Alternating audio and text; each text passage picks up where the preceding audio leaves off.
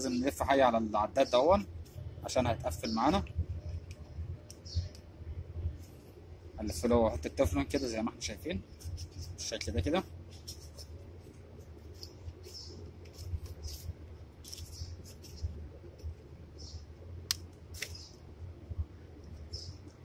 طبعا هو انت عندك هنا في مخرجين اهما هو المخرج اللي هو الواحد بوصه فوق وده ده الدخول والخروج بتاع المية وده اللي هيركب عليه الأوتوماتيك. والجزء ده اللي هيركب عليه العداد زي ما إحنا شايفين. طبعا أهم حاجة إن أنت ما تقفلش الفتحة اللي إحنا شايفينها دي لأن طبعا آه، ضغط المية عشان آه، العداد يحس بيها. بالشكل ده كده.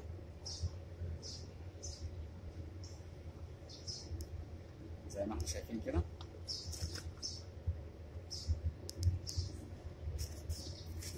هنلف برضه معانا على الجزء ده هو اللي هيركب عليه الأوتوماتيك.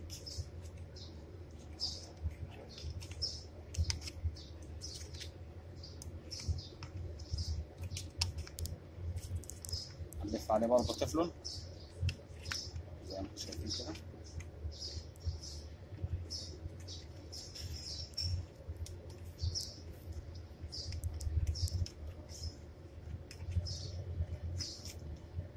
طبعا أهم حاجة وأنت بتلف برضه. زي ما أنا قلت برضه هو هتلف كمية.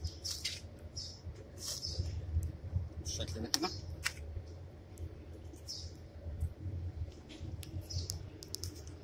وعندك هنا ال- لا، الأوتوماتيك في صاموله اهي داخلية. سن داخلي. هتربط عليها.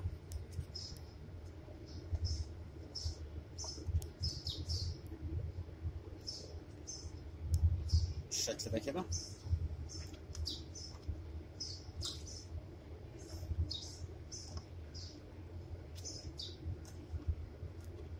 هنحاول برضه إن إحنا نخلي الجزء ده يبقى لتحت كده بالشكل ده كده عشان يبقى الدخول بتاع الكهرباء قريب معانا بالمنظر ده كده.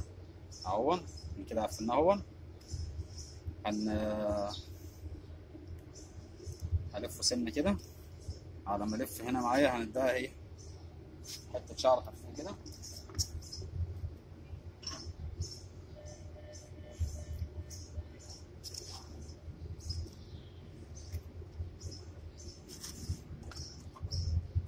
شعر معايا خفيفه كده.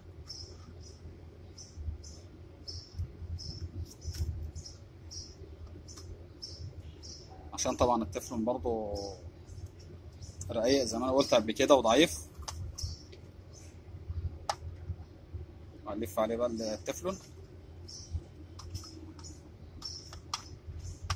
بالشكل ده كده. عشان تبقى جاهزة معانا؟ أنا مش عايز أحل الدخول والخروج بتاع الموتور دلوقتي إلا لما أقفل الكلام ده هون عشان آه ما ناخدش وقت في قطعان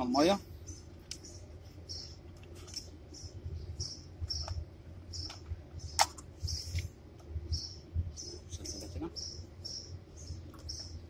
أنا إيه جمعت أهون. هربط بقى سن بالشكل ده. وهن طبعا أول حاجة هعملها بقى هقفل المية عشان أحل الموتور. طبعا أنا خلصت معايا ال- الاوتوماتيك قفلته معايا اهون طبعا آه، ال- الجزء النحاس اللي هو اللي راكب عليه العداد دهون آه، طبعا أنا غيرته لأن اللي كان جاي كان توتي ضعيف. فلقيته فيه تنميل من هنا كده. فبعد التشطيب اهون أنا قفلت العداد قفلت الاوتوماتيك وركبت ضغطت البالونة دي انضغط إنها كانت فاضية. انضغط هوا من هنا كده. اهو فيها ابره اهي اهو بالشكل ده كده. عند أي واحد بتاع كاوتش زي ما إحنا شايفين أهو الجزء ده اتقفل وطبعا آه، مفيش خزان هو شغال على الحمامات دلوقتي.